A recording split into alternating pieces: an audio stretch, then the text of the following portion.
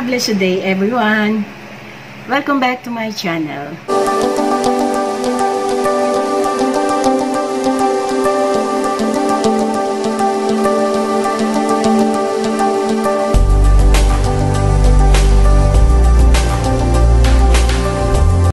Mga kasek, ngayong araw na ito ay may muli na naman akong isi-share. Hindi ko alam kung ito ba ay meron din kayo or kami naman ang naiiwanan. Kasi minsan may barangay na advance na hindi hindi kagaya namin, nalilate kami, lalong-lalo na pagdating sa badak. Meron kasi akong narinig sa isang kabarangay sect natin dyan na sila pala ay meron ding badak audit.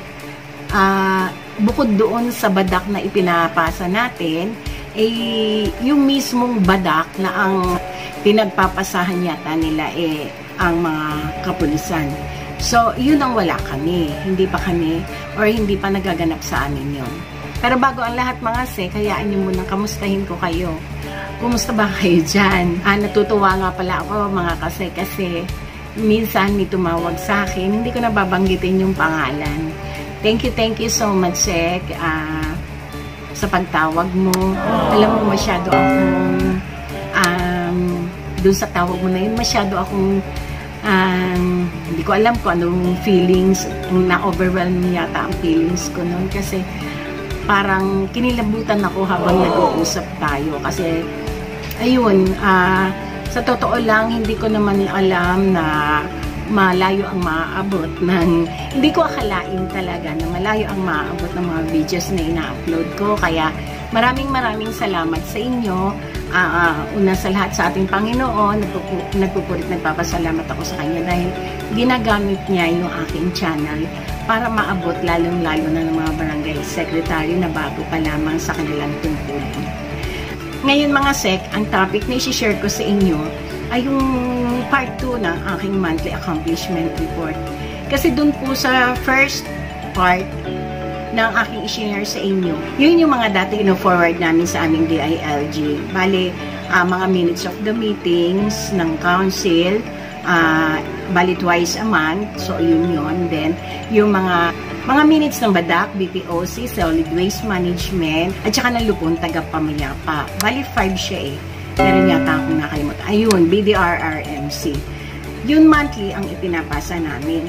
Pero ngayong month na ito, ay nakalimutan ko na igawa, isama ito sa first part ng video na ginawa ko. Kaya iyon ngayon ang isi-share ko sa inyo.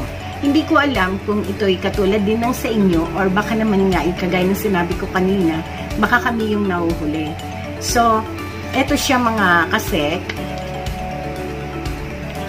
yung aming bago ngayon na isinasubmit every month bukod pa doon sa hiwalay kasi namin siyang sinasubmit eh meron ba kayo ng mga road clearing operations sa inyong mga barangay kami kasi nagsasubmit din noon pero hindi namin siya isinasubmit sa DILG amin siyang isinasubmit sa sa barangay affairs. Then yung barangay affairs yung nagsasubmit sa office ng DILG.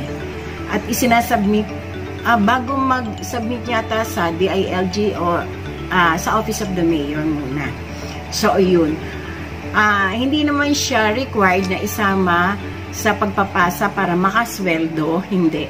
So, ang ang aming ang inire-required ng aming DILG na maipasa namin bago kami sumweldo yun nga yung mga minutes of the meetings at saka yun nga yung monthly accomplishment report karagdagan ngayong uh, month of May.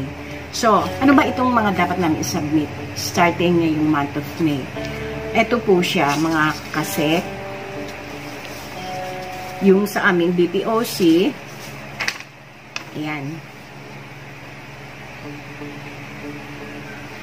Ito yung Barangay Peace and Order Information Report.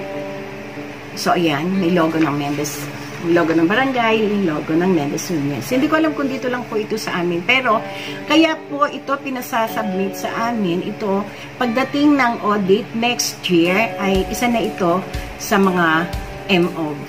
So, kinakailangan may stamp receipt ng aming DILG office. So, ayun. Uh, dito, sa bawat table, uh, incident, ito yung incident report sa loob ng bawat buwan. So, uh, nakalagay dito kung ano yung mga naging case sa loob ng barangay or kung hindi man isang kaso na isinampa o blinatter sa barangay, kung may pangyayari sa barangay, pwede pong isama dito. Yung mga pangyayari sa barangay na hindi uh, ipinablatter sa barangay, kasama rin po yon. Then, uh, date, kung kailan nangyari, then actions taken, at saka yung remarks.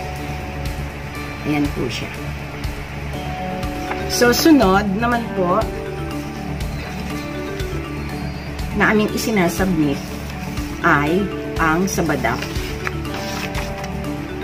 Ito po.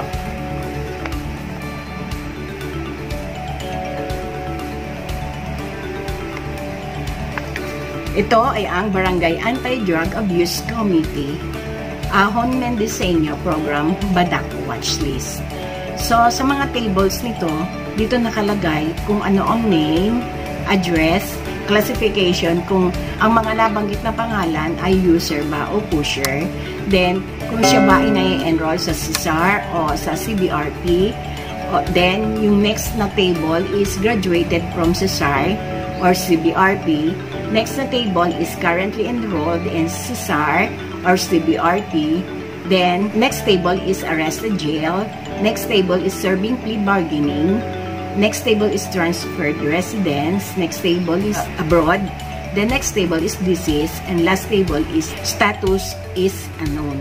So, bali sa mga tables na to, mga kasi, ang ilalagay lang namin dito ay check. Mamimili lang kami kung alin dyan yung i-apply, yung naka-apply sa bawat mga names na nandito. Uh, sila yung mga, kung merong watchlist sa barangay. Actually, mga um, kasek, ito dito, kaya marami sila. Ito ay taong 2017 lang. Pero magtataka kayo kung bakit pinasama. Hmm? Uh, para po sa pag-update ng mga records ng mga files para sa ating badak uh, audit Uh, sinimulan ito ng year 2016 up to the present. So, ang ginawa kong report ay nagsimula pa nga po ng 2007, then natapos ngayong 2021. So, ngayon, wala po kaming case ng surrenderist. Bali, meron lang po kaming case dito ng uh, tawag dito, arrested. So, nagkaroon ng bypass operation. Then, ito naman po, yung, yung isang form sa badak din.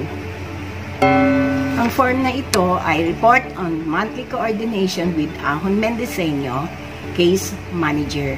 So, dito po sa form na ito, kung inyo pong makikita, ang form na ito ay para po doon sa nagtitake ng uh, Ahon Mendeseño case. And so, nakalagay dito date, venue, budget, allotted, actual expense. Then sa objectives, nakalagay dito is the objective of the coordination meeting between the Badak Chairman on Operation and the Ahon Medeseño case managers are Number one, to maintain a swift coordination with the barangay on the implementation of programs and projects of Ahon Mendeseño. Number two, maintain progress report of the surrenderies undergoing the Ahon Mendeseño program. Number three, know the difficulties, issues, and concerns that hinders the effective implementation of the Ahmed Disenyo Program. Sila po yung mga currently serving a plea bargaining. Yung currently enrolled in CSAR and CBRP. So, kung halimbawang serving siya ng plea bargaining, tapos uh, nag-undergo siya sa Ahon Mendeseño case manager, nagkakaroon ng regular visit yung pastors doon sa uh, nag-undergo ng CSAR or CBRP at uh, yung mga nag-play bargaining.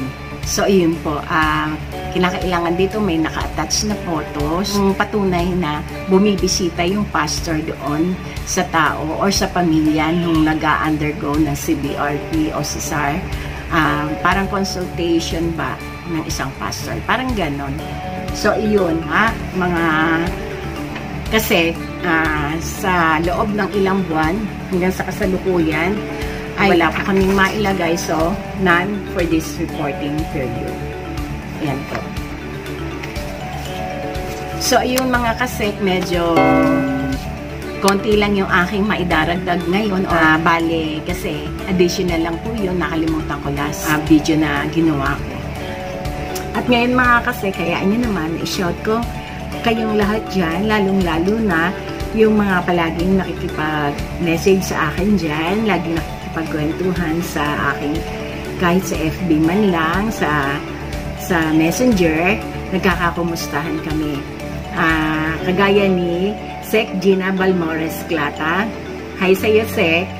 Uh, siya nga pala, hindi ko na ilalagay yung mga profile nyo or kaya yung mga yung mga pictures nyo. Hayaan nyo na lang na i-shoutout ko kayo isa-isa. Alam ko na maganda rin yung ganito kasi hindi na ano yung privacy nyo. Uh, kung narinig niyo yung background, yung ingay na background ko, pasensyahan niyo na po kasi umulan ngayon dito. So, uh, pagpasensyahan nyo na po yung ingay ng background natin dyan. Medyo patak-patak ng ulan. Uh, kay Sek Gina Balmores Klata. Then, kay Tres Joan de Mesa Messina. Hello, hello sa iyo Tres. Ikaw lang yung nag-iisang Tres na nakipag-friend sa akin. Hello, how are you? And then kay Kyla Lay Manalase. Uh, shout out din sa barangay Nenita J. Herrera. Hello sa iyo, Sek. And shout out din kay Junian Garcia Pailado. At shout out din kay Nilem Binaliktad niya kasi yung name niya eh, kaya hindi ko masyadong mabasa. Ni Liam Ginobol o Lu, uh, Emmeline Ginobol. Uh, Emmeline Lubong siguro yung real name niya. So, shout out to you. Shout out din kay Princess Diane. Shout out din kay Rosemary Cobre. At doon naman po sa mga nagme-message sa YT na hindi ko isasama sa shout out ko, yung mga bago lang po yung naisama ko ngayon. Pasensya na po. So, as Sex Sophia Ras, shout out sa iyo. Shout out din kay Sek Abdul Jalil Pandapatan. Shout out din kay Sek Marayaan. Kay Sek Jennifer Jetida. Hello, hello. Kay Sek Alma Lumna. Hello sa iyo. Shout out din kay Sek Jameline Mahinay. Hello. Shoutout din kay Mal Laurente. Hi, Sek. Shoutout din kay, kay Sek Erika Bito. At kay Sek Lendel Almares. And finally, kay Sek Russell Samson. Hello, hello sa inyong lahat. Ayan, umuulan. Lumalakas yung ulan dito. Medyo, ayan, pag ganyang maulan, medyo nakakaantok yung paligid. Tapos, nag-iisa pa ako dito ngayon sa office kasi yung duty for the day ngayon ay umuwi kasi masakit yung ulo niya. So, eto, nag-iisa na naman ang inyong abang lingkod. Kaya it's time for me to vlog again, to make my vlog today. So, ayun. Uh, maraming maraming pong salamat ulit sa, sa panonood nyo sa video ko na to. Kahit simpleng video lang to. I hope may malaki din po itong maitulong sa inyo. At kung wala naman po, bigyan nyo naman po ako ng idea na magagawan ko na uh, bigyan niyo ako ng topic na magagawa ko ng video. Uh, just comment down below kung ano po yung mga problema sa barangay na pwede kong gawa ng topic. At kung meron po kayong may suggest kung po kayong mahiya na mag-comment down below, paki-message na lang po or just PM me sa aking uh, ah, FB, sa aking messenger. Paki-add na rin po ako at hayaan niyo po lagi ko kayo isa-shoutout. At kung sino man po yung gusto magpa-shoutout dyan, sabihin niyo lang po sa akin. Willing na willing po akong i-shoutout kayo. And maraming maraming po salamat muli sa panonood. Thank you, thank you mga kasek. Thank you guys. Kita-kits po ulit tayo sa susunod kong mga videos. At kung bago ka lang po sa aking channel, please Don't forget to subscribe at pakihit na rin po yung notification bell para every time na mag-upload po ako ng panibago kong videos ay ma-update ko po kayo. Thank you, thank you po uli and God bless us all.